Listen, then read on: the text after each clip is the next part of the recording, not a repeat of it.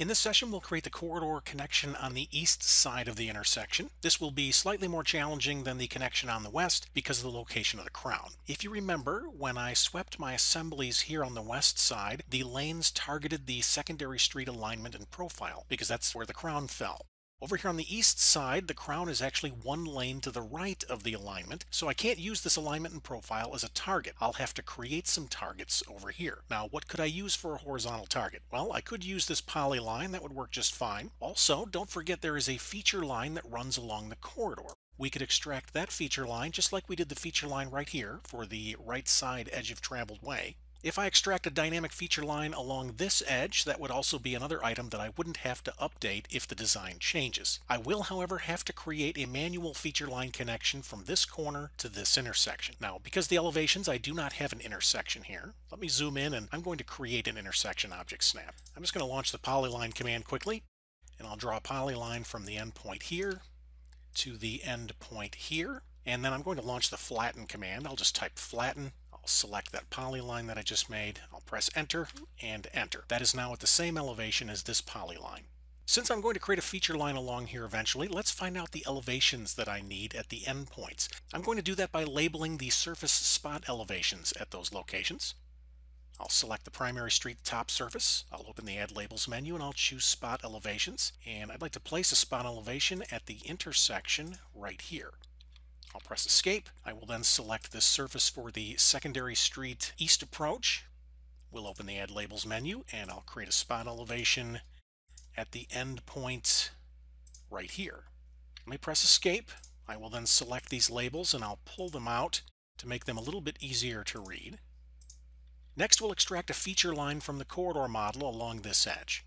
I'm going to open the in-canvas menu. I'll go to viewport configuration list and I'll choose to vertical. And then in this view on the right, I'm going to click the southwest hotspot. I will then zoom in on that edge. Right here is the feature line that I'm interested in. Unfortunately, my surface is sitting on top currently, so let's select the surface. I'll right click and I'll go to display order, send to back. There we go. Let's extract this feature line. I'll go to the feature line menu. I'll choose create feature line from corridor. And then I'm going to select right here. Now it says that it finds two of them. I'm going to grab the edge of traveled way. I'll click OK. Let's name this secondary street east crown. I'll keep the default style, no smoothing, and I will create a dynamic link to the corridor. I'll click OK. Now you may be wondering, why did you select the edge of traveled way feature line? Why didn't you select the crown? Well, I've selected this one before, and what I found is the crown feature line actually stops right here. It's the edge of traveled way that continues on to the end. So the edge of traveled way represents the best target choice in this case. Now that I've created my target, I no longer need this extra viewport. I'll click back in the viewport on the left. I'll open the in-canvas menu. We'll go to viewport configuration list and I'll choose single. Let's zoom in I will now create a feature line that makes the connection. I'll open the feature line menu and I'll choose create feature line. We'll name this one secondary street east crown connect. I'll keep the default style and I'll click OK. For my start point, I am going to select the end point right here. I'll press enter to accept the elevation and I'm going to draw that to the intersection right here.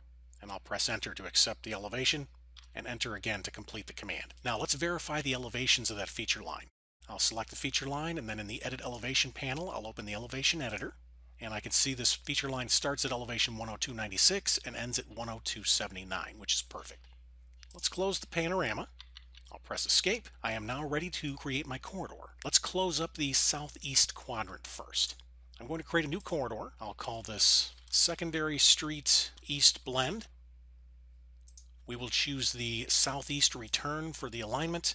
I will select the Southeast Return Finished Grade Profile and the Curb Returns Assembly. I'm not going to be targeting a surface. I will be setting baseline and region parameters. I'll click OK. Here in the region, I will click to set my start station. Since this is traveling in a clockwise direction, I will grab the start station at the end point here on the left, and then my end station will be at the end point of the curve on the right. I will then adjust the frequency. Let's make the curve increment 3 feet, and I'll click OK. Then we'll select the targets. For the return lane, I will click in the horizontal target field, and I'm going to select all of these from the drawing.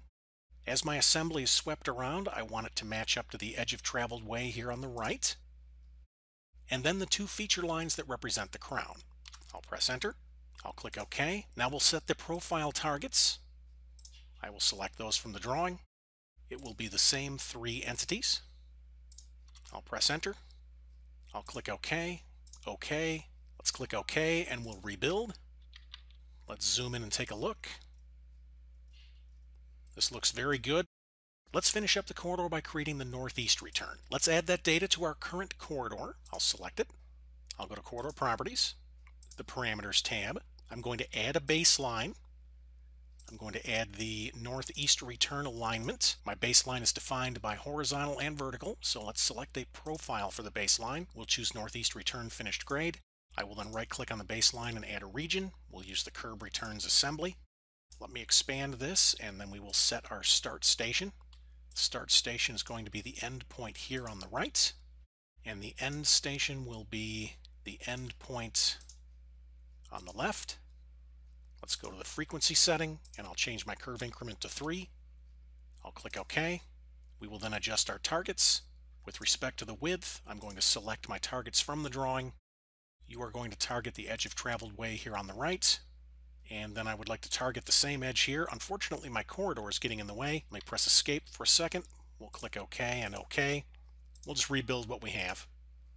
There we go. We can see that we have to adjust the targets for this lane still. Let's select the corridor, and then I'm going to push this to the back. I'll right click and go to display order, send to back. There we go. That'll make it easier to select my feature lines. Let's adjust the targets. I'll select the corridor and we'll go to edit targets. I'll click inside my region. For the horizontal geometry, I'll select from drawing. I'll grab the edge of traveled way on the right, and then the two feature lines representing the crown. Then we'll take care of the profile. Same geometry. I'll click all three feature lines. I will then click OK. I'll press escape when I'm finished, and then I will select the corridor and we'll take a look at it in the object viewer.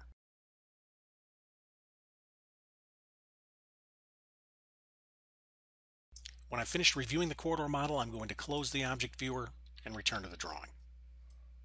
At this point, our corridor model is complete. In our next session, we'll create an overall composite surface that represents the entire top surface of the corridor model.